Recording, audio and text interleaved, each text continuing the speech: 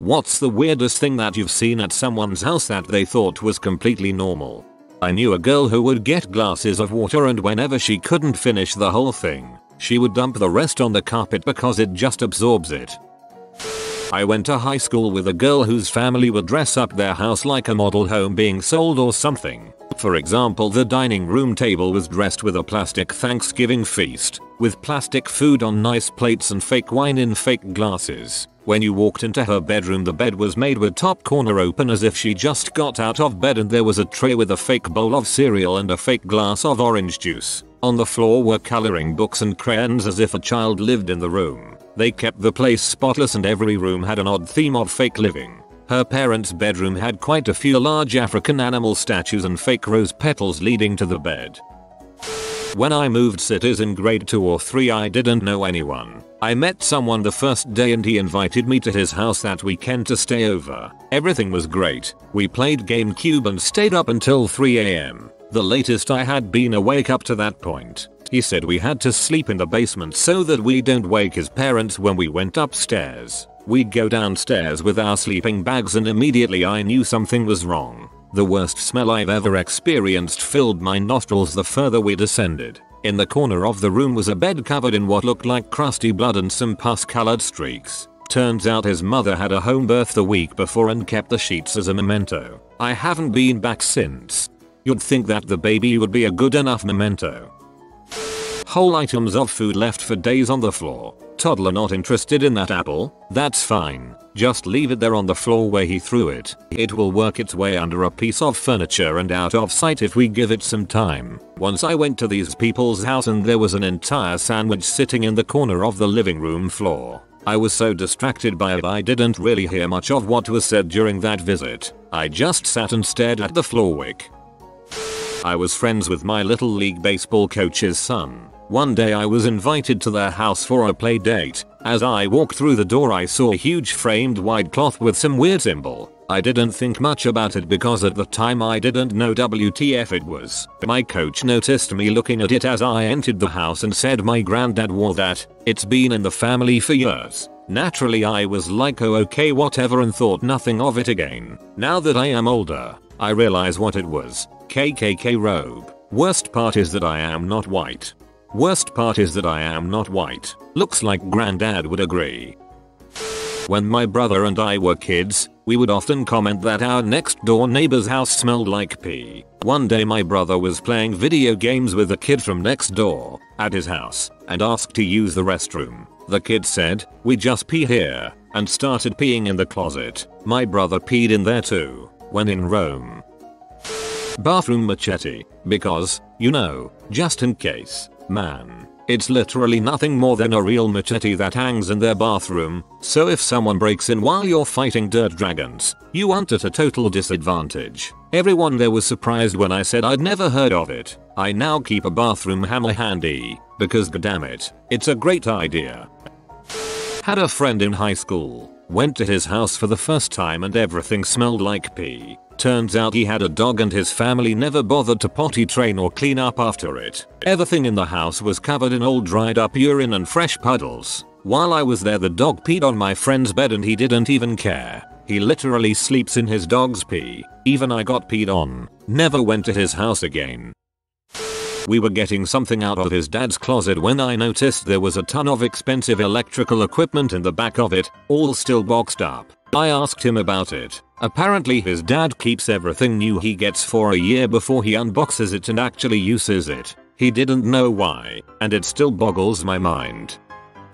The extent to which the owners had gone to preserve their furniture. Each piece of furniture, including the lampshades, had a custom cut plastic shell draped over it. Every furniture leg had a plastic bowl underneath it to distribute weight across the carpet, preventing indents. The strangest part was the plastic pathways laid out across the floor. These pathways were kind of like plastic carpets laid on top of the real carpet. You weren't allowed to walk on the actual carpet. Instead, you had to walk on these plastic mats that crisscrossed the floor and connected all the rooms to each other.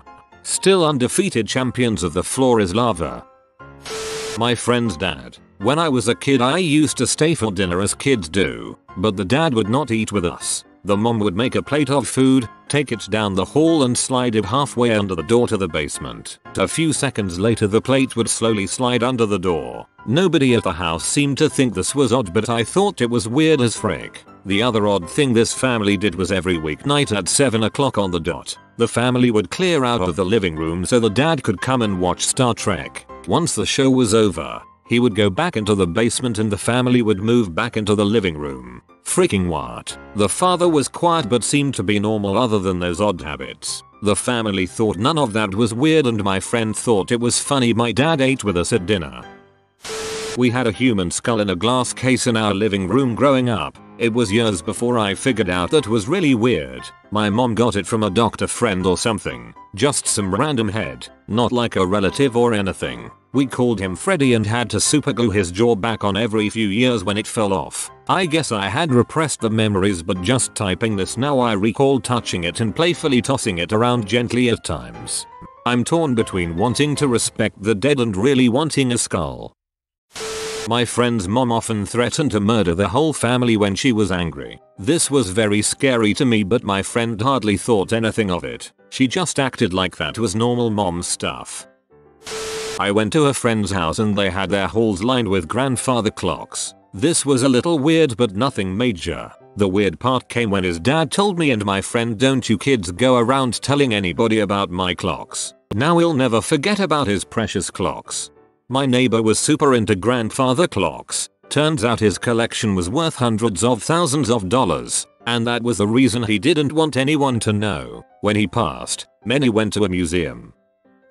I will never forget as a child visiting my friend's house and noticing the wallpaper they had in his hallways. The pattern was of naked women throughout his apartment, just little naked women all over the wall. We were maybe 8 years old, and it was amazing. A cow tongue in place of a birthday cake. It wasn't like they couldn't afford a birthday cake either. They just had a cow tongue with a single candle in it. I knew a guy one time who would get completely undressed every time he took a crap, then take a shower afterwards to really clean up. He'd even do this at other people's houses. I was about 12-13, visiting my best friend's house for the first time. After lunch, I get the urge to take a dump, so I go to the restroom do my thing, finish up, and flush. Nothing, nothing happens. I take a step back, flush again, still nothing. So I start freaking the frick out. I'm a kid. I just broke my friend's toilet. I don't have any money to pay to fix it or buy a new one.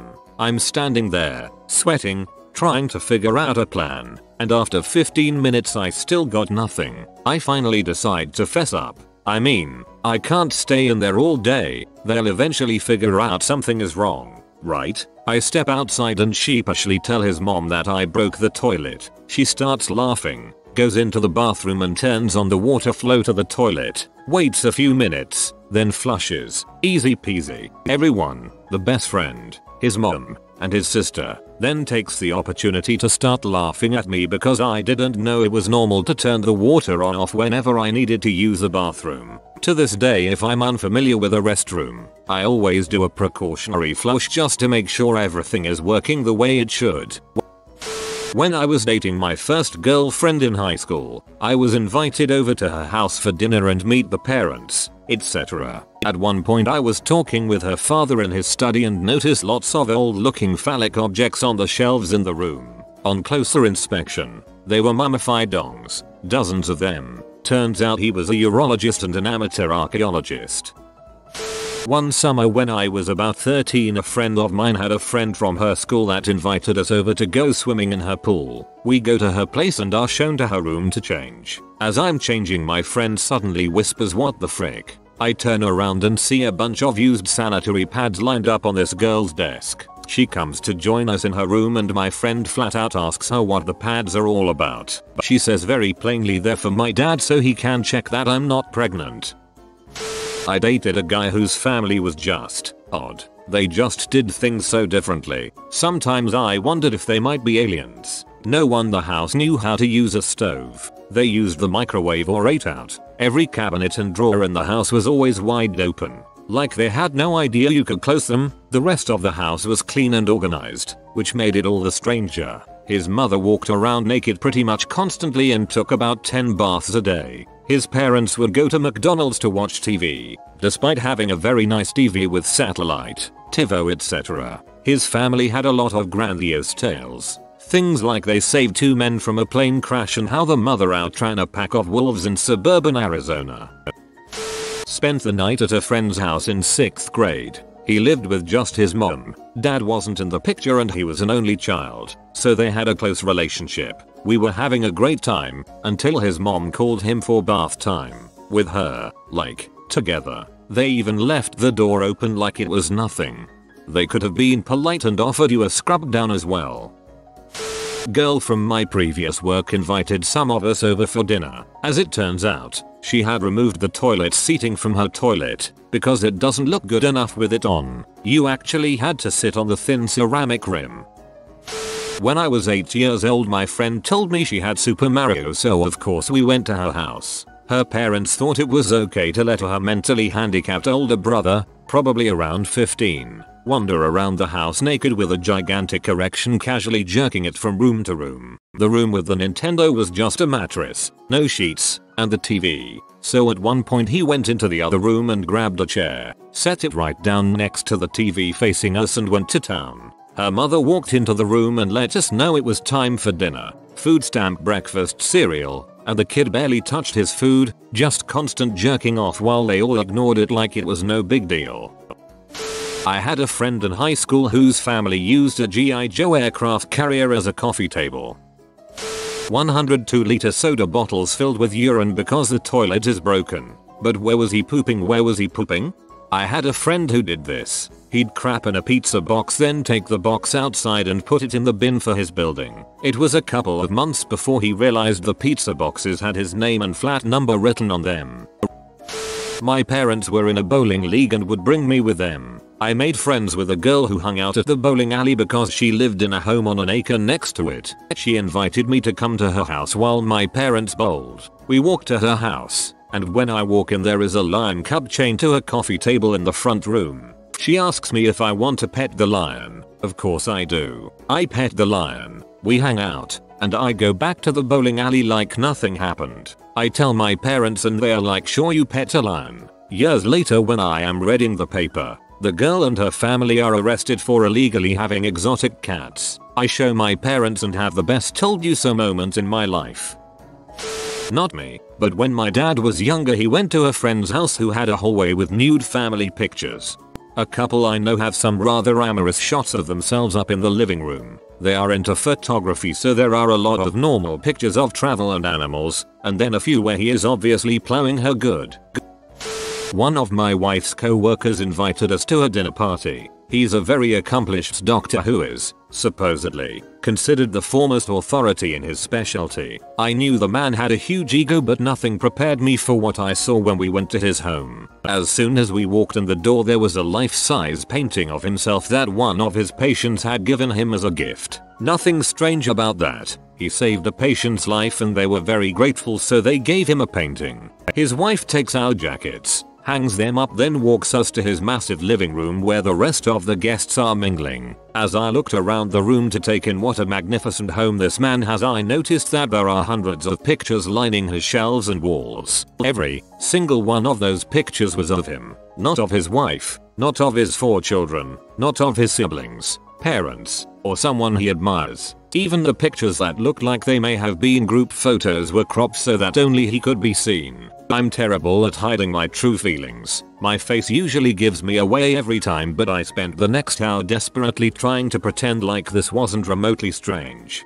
After a few drinks I decided to head to the bathroom. I had to take a dump and I'm not shy about doing so at another person's home. I walked into their guest bathroom, closed the door, lifted up the lid, sat down and grabbed one of a dozen books that were sitting next to the toilet. The first book I picked up is written by our host, so I picked up another book and it is also written by our host. I looked at the bookends and all of them are written by our host. Part amused and part disgusted I looked up and noticed there is a picture on a small table across from the toilet. It's our host again, staring at me in the picture while I'm taking a dump. I was visiting a friend one time and we were about to go buy a 30 rack at the nearby liquor store. I tell him we need to stop by an ATM so I can pick up some cash to pay. He just turns and looks at me and goes, don't worry about it, we can just go to the money drawer. This kid's family literally kept a drawer full of $20 bills in the kitchen that you could just walk up to and grab whenever you needed something. It was pretty surreal. I need a money drawer. I have a change jar, but that doesn't seem like it compares to a money drawer. When I was in college I played the drums in a band and we would often practice at the guitar player's house because his parents didn't care about the noise. The family was weird and the house smelled, but the thing that got me was the filth. There was always dog poop somewhere and I don't think they ever flushed or cleaned a toilet. All of this was considered normal to them. Then one day the guy that played guitar walked over to the corner of the room and peed on the floor. I was stunned. He wasn't drunk or anything like that. This was normal to him. His parents didn't care either. It was just how they did things. My friend refuses to vacuum and her carpet is covered in a layer of loose hair.